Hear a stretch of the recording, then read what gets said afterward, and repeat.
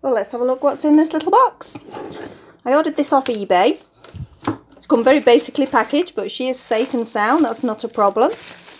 As most of you know, who know me, now I do collect a lot of dolls, particularly Japanese type dolls, as in the anime, the smart dolls, the Azone dolls like that. But I do love my fashion dolls as well. And this little girl takes me back to when I was a little girl as well. But originally I had wanted to get a brunette. This one came up on eBay. I thought she was very, very pretty, so I went for her. The thing is now, as much as I was going to reroot, I actually think her hair is in very, very good condition. There's absolutely no plugs missing.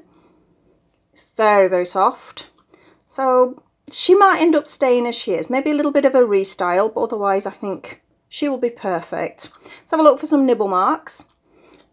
One thing that I don't like to see is bite marks in the fingers, but I have to admit I was guilty of that as a little girl myself. As it turns out, she's spotless. Hands are great. Feet, no problems at all. Legs, pin marks, no, she's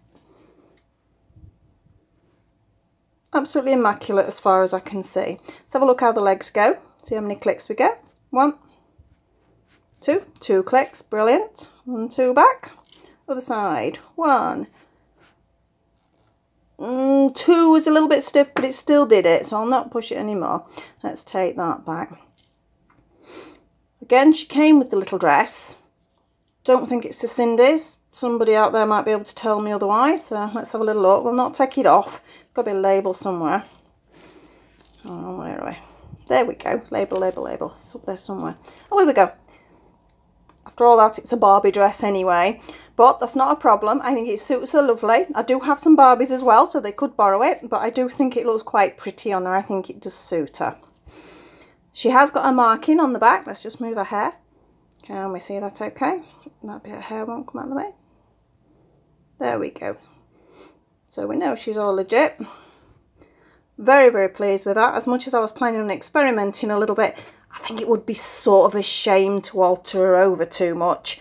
So I think what I'm going to do is get her some clothes made, particularly the hats. That is the reason, main reason I wanted her, because as fashion dolls go, she does have a rather large head in comparison. So it is a little bit hard to get the sizing. Oh, that didn't go too blurry then. I'm just getting used to doing this. This is my first video. I am, I am aiming, if I can speak, to do a few more. Particularly I want to showcase the crochet that I do, which is something I really am passionate about.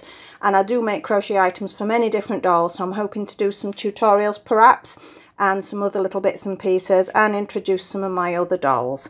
I think that's everything for today. Hopefully you enjoyed and it was a little bit informative and we may be seeing you again. Thank you.